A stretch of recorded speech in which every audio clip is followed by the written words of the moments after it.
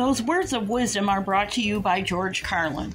If you don't know who George Carlin is, he was a wildly popular comedian in the 60s, 70s, and early 80s for the most part. But more importantly, he was a keenly intelligent and astute social commentator.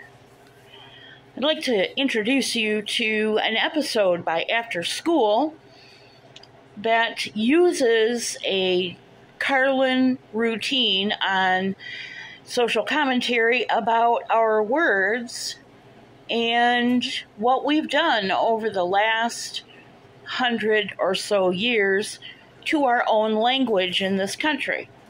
If George Carlin was still alive, he would not be allowed to be shown or featured or broadcast on TV, maybe not even on cable anymore.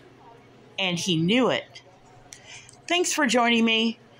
I'll leave you a link to this routine by George Carlin on After Skool, or you can find it on my community wall. God bless you. See you real soon.